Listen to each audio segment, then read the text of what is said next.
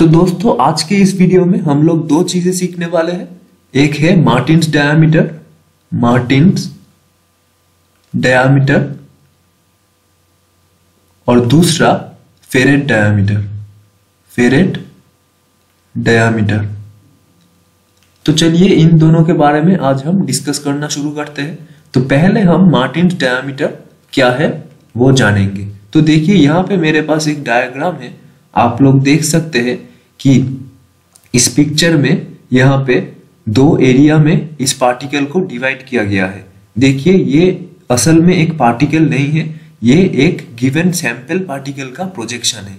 Martins diameter different projection के लिए different आता है।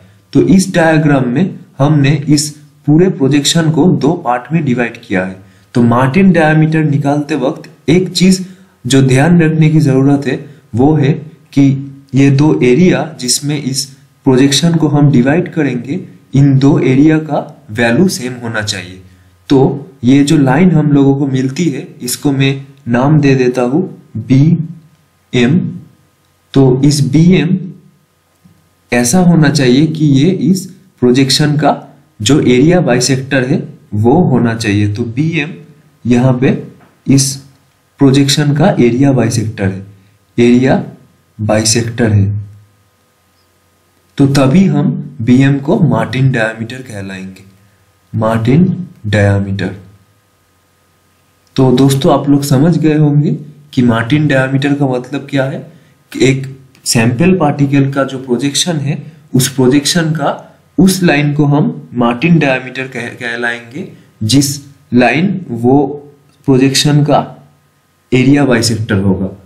तो एरिया बाइसेक्टर को हम मार्टिन्स डायमीटर कहलाते हैं। अब बारी आती है फेरेट डायमीटर की। देखिए फेरेट डायमीटर कुछ इस तरह होता है। तो देखिए दोस्तों फेरेट डायमीटर कुछ ऐसा होता है। इस, वो उस सेम प्रोजेक्शन का हम लोगों ने दो एक्सट्रीम एंड्स में दो ऐसे पैरेलल लाइंस ड्रॉ किए। तो इन पैरेलल लाइन के बीच में जो डिस्टेंस है, इन पैरेलल लाइंस के बीच में जो डिस्टेंस है, मैं उसको डी ए नाम देता हूँ या फिर डी एफ़ अच्छा रहेगा। तो इस डी एफ़ का जो वैल्यू है, वही है हम लोगों का फेरेट डायामीटर तो फेरेट डायामीटर है डिस्टेंस जो दो एक्सट्रीम एंड्स उस पार्ट उस पार्टिकल का प्रोजेक्शन का जो एक्सट्रीम एंड्स है, वो एक्सट्रीम एंड्स के बीच में जो डिस्टेंस है, उसको हम फेरेट डायामीटर कहलाते हैं। तो दोस्तों, ये इस लेसन में हम लोगों ने मार्टिन्स डायामीटर और फेरेट डायामीटर को सीखा। Thank you